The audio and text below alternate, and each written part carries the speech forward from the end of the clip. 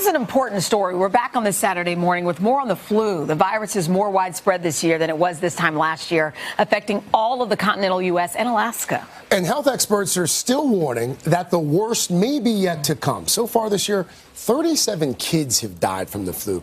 That's compared to just eight last year. NBC News uh, medical contributor Dr. Natalie Azar here with some important information on how to keep everyone safe. Uh, not just eight, eight's a lot of kids to die, 37 though this year. Mm-hmm. And we continue to see these stories about children dying within hours. Mm. How can that be? Right. So, well, first of all, let's think about the traditional risk factors for being more vulnerable to the flu are if you're very young, less than five years old, if you're over 65 years old, so the very young, the very old, if you're pregnant, if you have an underlying illness, a chronic condition, if your immune system's not not working so well. But yes, we've heard frighteningly some stories of seemingly healthy people succumbing within a few hours to the flu. How does this happen?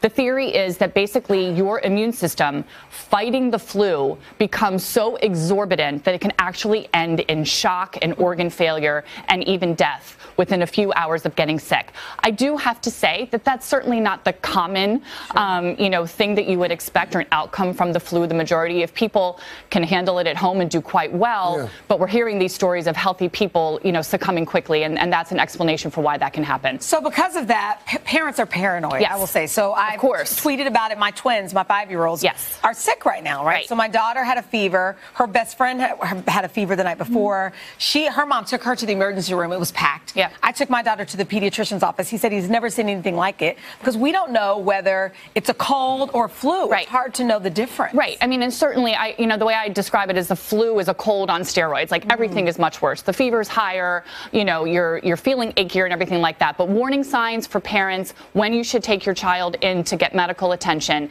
If they're having labored breathing or if you feel like they're they're in distress, mm-hmm. any bluish color around the lips certainly. If they're not feeding or drinking or able to keep down liquids, if they're lethargic and not easy easy awakened. And one thing, pneumonia is listed on the graphic. How do you know if your child has pneumonia? It's not so easy, right? Yeah. This is a huge pearl for adults as well as kids. But the, the story goes like this. You get sick with the flu. You're sick for a couple of days. You start to feel better after about five, six, seven days. That's the natural course of influenza. Yeah. And then suddenly you get really sick again. Mm. That usually indicates that you have now become infected, a super infection with pneumonia, which is typically bacterial.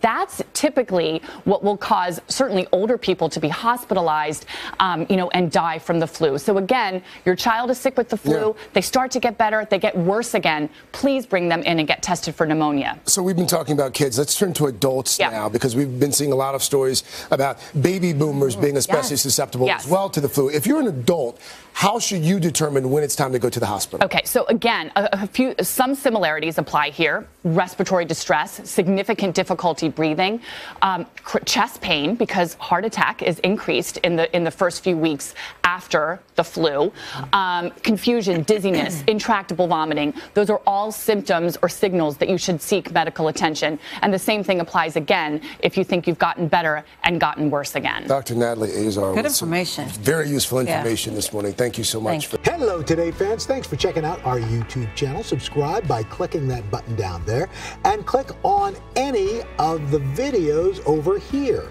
to watch the latest interviews, show highlights, and digital exclusives.